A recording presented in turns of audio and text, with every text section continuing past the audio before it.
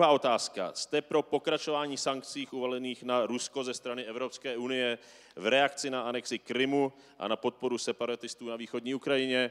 Pavel Fischer. Rozhodně.